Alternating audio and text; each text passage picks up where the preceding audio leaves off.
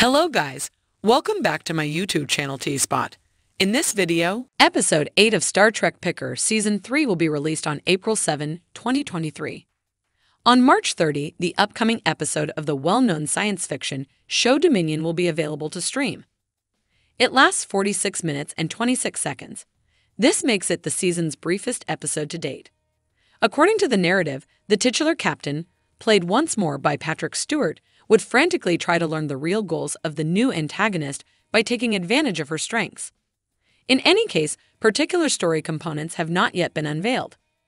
Picard continues the story of the aforementioned hero many years after the pivotal events of Star Trek Nemesis.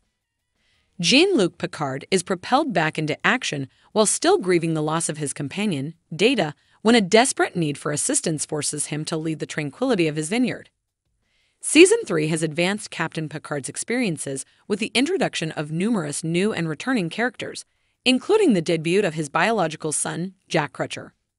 The future of Picard is a mystery. As Picard nears the end of the story, a number of fans have expressed their hope that the eccentric cast of The Next Generation will survive the show's final episode.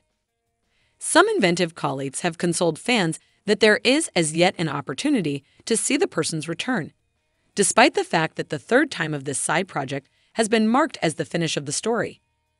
Everything is conceivable, according to executive producer Alex Kurtzman, and there is frequently the possibility of additional seasons when a show succeeds like Picard.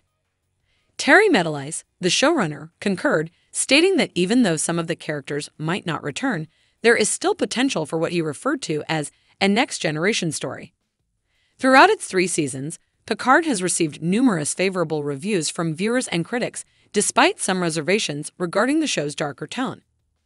Even though most reviews are positive, some people think that Picard deviates too much from its original material by including explicit elements. One such instance is Jean Luc's use of the F bomb in the episode No Win Scenario from Season 3.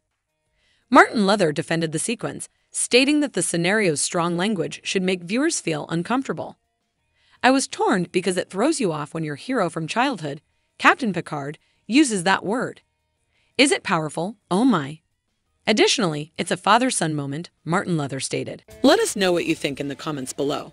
And don't forget to like, subscribe, and share the video. Thank you for watching. See you soon.